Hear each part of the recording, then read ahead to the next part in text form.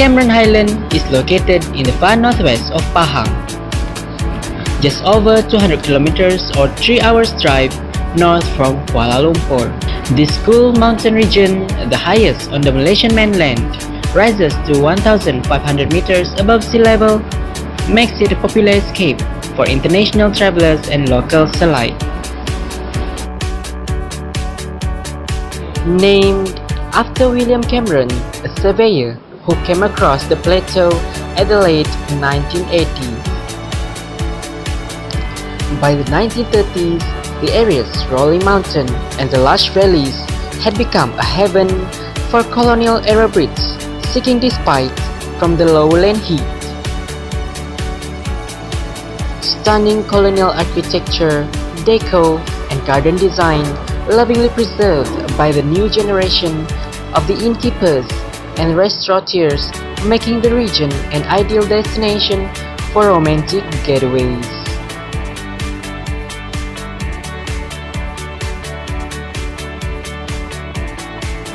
With covering 8,718 hectares of agriculture area, Cameron Highlands has four major plantations which are tomatoes, tea, strawberries, and flowers.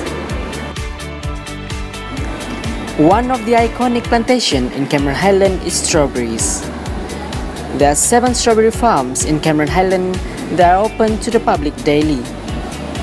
The cold climate makes it suitable for cultivating strawberries all year round throughout the highlands, with most farms concentrated at Tanah Rata, Brinchang, and Kea Farm.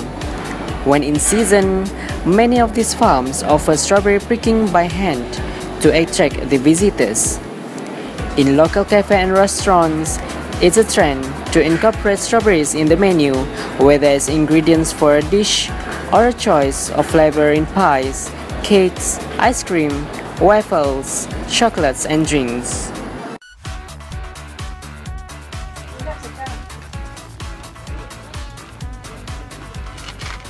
Cameron Highlands is famous with its strawberries.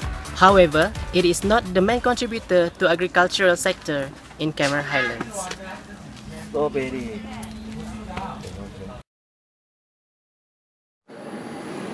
K.C Kwang and Sons, which is the biggest tomato farm in Cameron Highland, is located in Blue Valley. The polybag technique plantation helps to boost the productivity of tomatoes. High demand in Middle East make Dubai as a main hub to export the tomatoes to other Arab countries.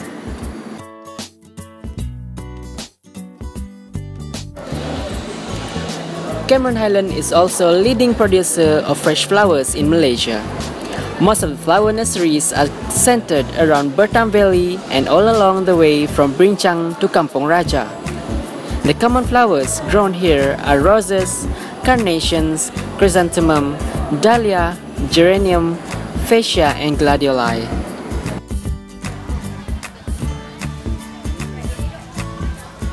Flowers are one of the contributors to agriculture sector in Cameron Highlands. By the help of fertigation technique plantation that introduced by MARDI, the flower plantation continue to grow year to year.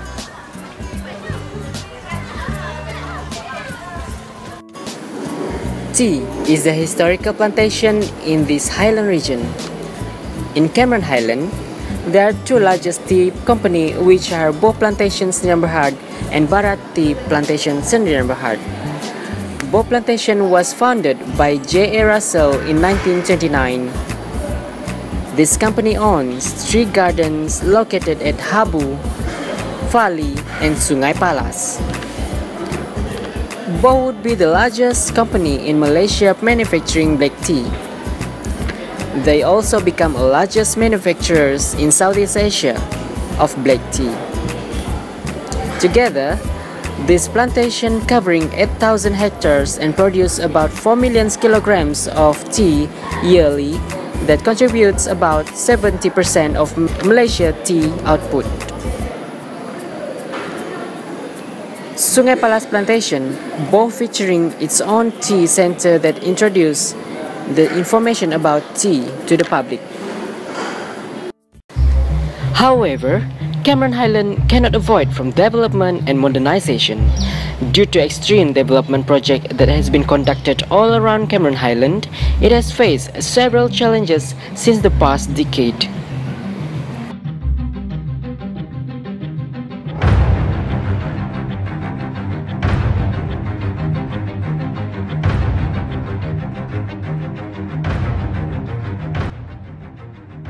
First challenges in highland agriculture is landslide. This problem happened due to illegal deforestation activities from illegal logging where they do not follow the guideline given by the Ministry of Agriculture. Landslide occur when the slope is higher than 25 degrees and it lead to unstable movement of the soil. From time to time, it contributes to block drainage problem. Then the problem become more serious when the rainy season ahead. The rainwater cannot be drained by the rivers and cause a mud flood occur.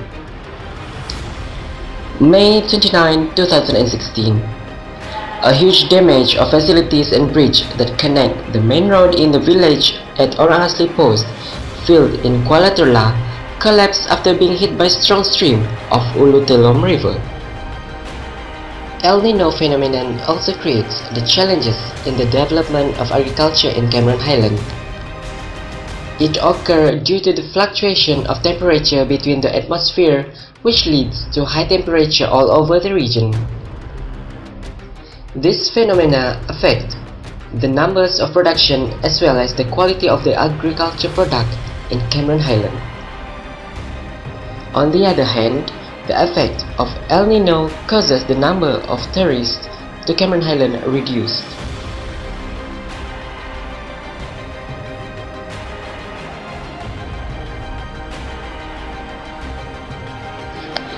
In addition, uncontrollable usage of pesticide in highland agriculture brings the high level of poison in the vegetable product.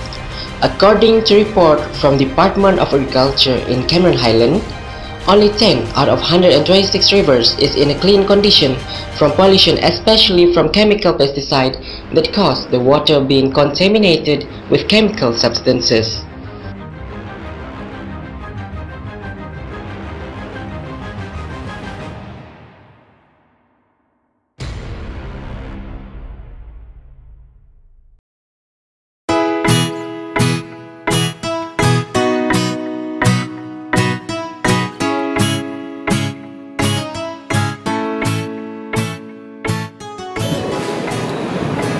Government has collaborated with MARDI and Fama in order to come out with various programs and events to develop the agriculture sector of our nation.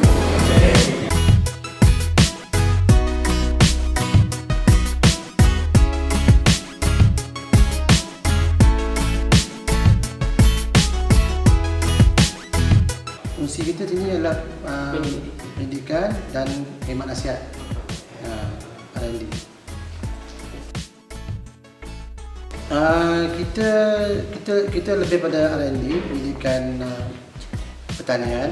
Pendidikan pertanian berkenaan dengan lebih pada sistem petigasi sebab uh, pertanian tinggi ini adalah petani-petani lebih suka kepada pertanian petigasi Pertanian petigasi adalah pertanian tanpa tanah. Mana dia tak tanam tanah dia tanam dekat polybag dan sebagainya lah. Uh, Selain itu, uh, kita juga memberi khidmat nasihat kepada petani sekiranya uh, petani uh, ingin mendapatkan kenapa berlaku serangan penyakit, serangan serangga, predator dan sebagainya dan juga berkenaan dengan tanah, soil. Uh, kita akan akan akan beri nasihat dan nasihat kenapa uh, sesuatu pertanian tu ataupun satu sayuran tu tak sesuai kat kawasan tu kita menggunakan kita gunakan uh, kaedah pH system lah.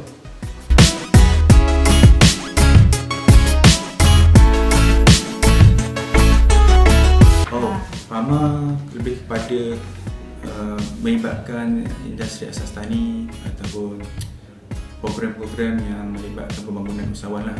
Hmm. Uh, yang mana kita di sini lah yang kita yang sedia ada lah ya. Uh, program uh, cash shop, kemudian pasar tani, gerai buah-buahan, kemudian kemudian yang lebih kepada melibatkan kepada pemasaran lah. Bagi membantu ataupun menyelesaikan masalah pemasaran bagi memasarkan produk-produk uh,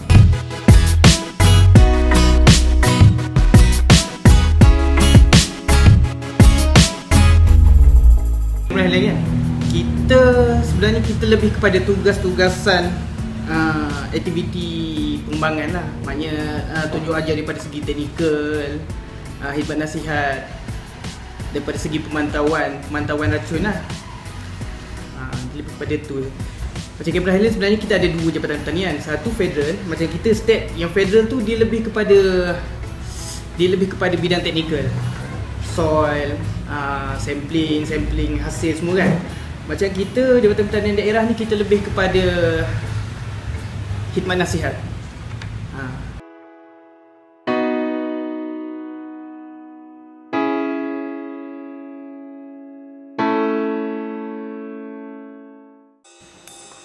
kerajaan. Langkah kerajaan berapa itu keseluruhan ya, kalau mereka uh, dimandikan oleh ini kerajaan memberi inilah meningkatkan kita punya apa ni peningkatan dari segi pertanian. Kerajaan memberi peruntukan lah. Peruntukan R&D contohnya peruntukan berkenaan dengan uh, research. Research uh, kepada para auditor yang ada projek lah. Untuk ekspor dalam kita terutama di Singapura dia uh, dia melibatkan uh, masalah traceability.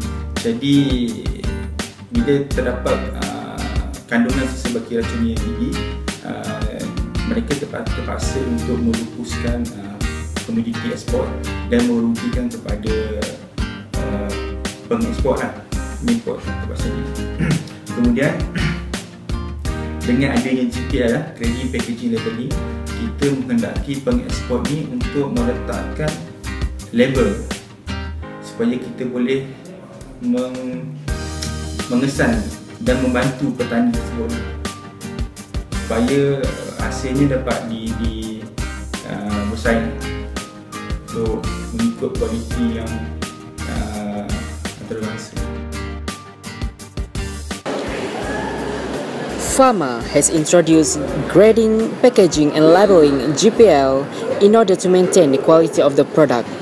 GPL is a regulation to ensure all agriculture produce that's sold in bulk or retail are graded, packaged and labeled before they are marketed locally, exported or imported.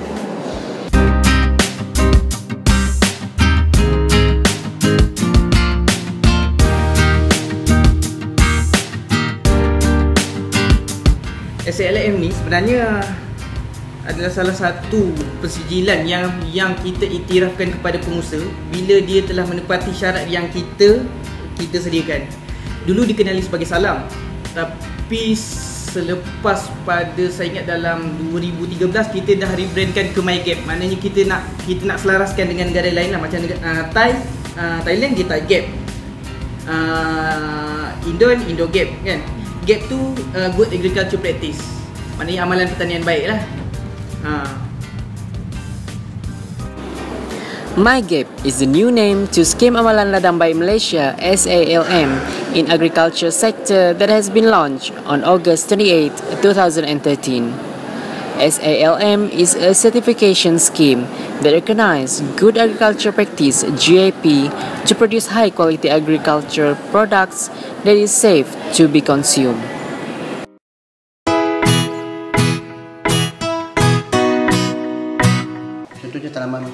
Kobis uh, perlu dibuat uh, satu perubahan. Jadi cuba dia mengikut projek mereka yang luluskan. Selain itu uh, projek pengairan lah, dengan pengairan ataupun research berkenaan dengan tanah, soil selalunya kalau dengan tanah. Uh, peruntukan tu adalah berdasar kepada jumlah uh, projek lah melibatkan jenis ataupun Pembangunan yang program yang yang dipohon oleh uh, peserta. Sebagai contohnya kita ada program uh, Cup Chain to Upgrade lah. Yang bagi untuk uh, industri asas tani yang mana yang pertama uh, seorang pengusaha kita lah uh, melibatkan uh, kajian nutrisi dan juga uh, pembungkusan. Yang mana dia telah mendapat lebih kurang 14,000 eh, 14,000 kemudian uh, peralatan untuk uh, membuat mie lebih kurang 10,000 10,000 ringgit. Dan juga untuk program pupuk iaitu uh, jenis apa ni uh, pemasaran terus di ladang eh. Yang mana melibatkan selama tujuh orang dan seorang pemasak jadi satu tambah enam yang mana masing-masing mendapat RM5,000 uh, seorang. Mana RM75,000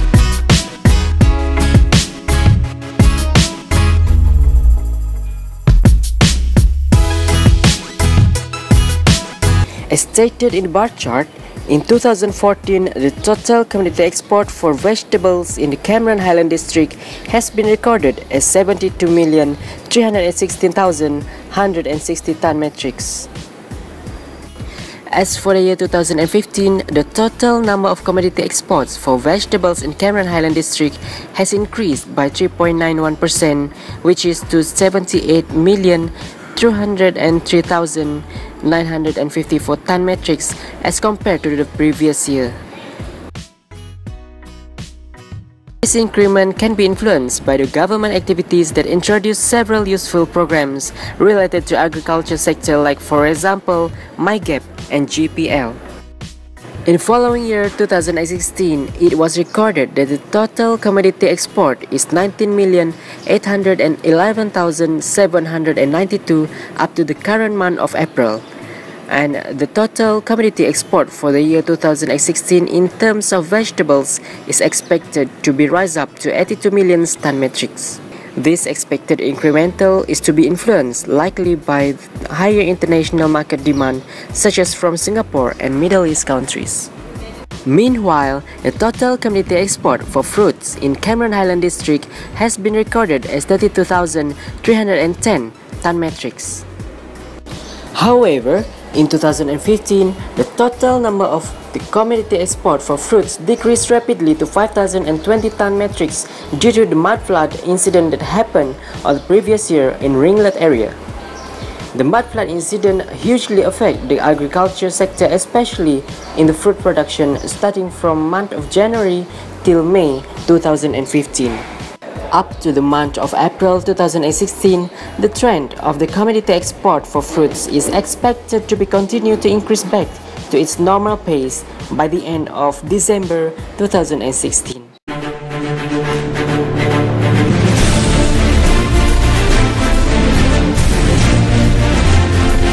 Harapan saya lah untuk perkembangan uh, pertanian di tanah tinggi Pertama sekali saya harapkan penggunaan racun yang lebih selamat. Uh, Kemudian uh, bagi mengurangkan MRN uh, Kemudian kita dapatkan grade ataupun standard yang lebih baik. Dan juga memudahkan urusan untuk ekspor Harapan saya harga sum, apa, harga komoditi itu lebih lebih baik lah daripada yang sekarang sebab keadaan ketidaktentuan harga di mana kita ataupun kita lah apa ni petani ni berada dalam keadaan uh, tersepit antara kos kos dan macam seperti yang kita tahu Cameron Highland ni setakat ni memang pengeluar saya terbesar di Malaysia lah kan? Jadinya harapan tu kalau boleh uh, di masa akan datang uh, sistem penanaman sistem pertanian yang sedia ada di Cameron Highland ni mungkin kita boleh uh, kita boleh bersaing lah dengan negara luar contoh yang lagi lagi maju daripada kita macam Jepun, Thailand semua ni yang lebih lebih advance pasal ni bidang pertanian ni.